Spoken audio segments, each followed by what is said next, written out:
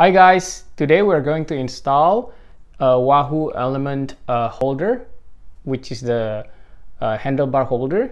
So this is what it comes with. Basically, this is what the Wahoo gave you when you purchase this. Uh, this actually goes on the the stem of the of the bike. Uh, the problem is, to me, it doesn't look really clean and it actually gets in the way of the wiring here. So I didn't like that very much we have a few options and the reason why I purchased this is because this goes pretty much with uh, with any regular handlebar as long as the width is within 31 millimeters I believe.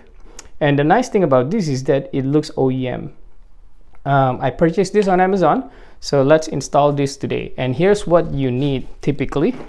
You will need a Torx screw to unscrew uh, the, the handlebar and this is what it comes with. So basically this goes on here and this goes uh, to the handlebar itself. So we're gonna install this today. And then finally don't forget you will want a torque wrench to make sure that um, everything is nice and tight. Okay. So try not to move the handlebar um, even though some some bicycle the moment you unscrew the bottom part it will move which is okay. You just need to readjust. Uh, this is a 2021 specialized Aethos. And let's let's install this. Basically what you want to do is you want to navigate through the wiring here and make sure that you don't pinch any of the cables you go.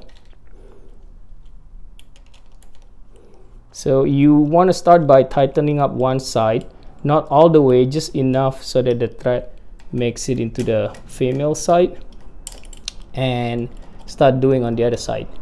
So be, be very careful with this because what happen is if you have OCD like me I want it to be perfectly aligned. I, I don't like it when this holder is a little bit to the left or to the right and also you want to make sure if you look at the back it goes all the way into the to the uh, to the stem. So go slowly and then switch to the other side to make sure they are evenly tight left and right. And then now it's tight enough but you can still move it to the left and to the right. And you want to make sure it's evenly in place. So not too much to the left and not too much to the right. Okay? Okay now you can start to tighten it further and just make sure it's snug. They're snug in. Okay? Looks great. This is when you will bring in your torque wrench. A lot of time you need an extension. The reason is because there's a holder here at the bottom this is where you can buy additional attachment for your action cameras or uh, your flashlight and I'll show you that.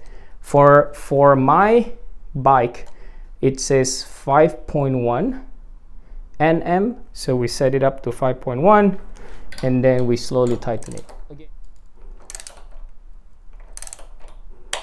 there you go. More side.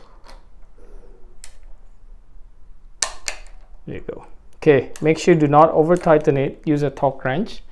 And then that's it. Now you are ready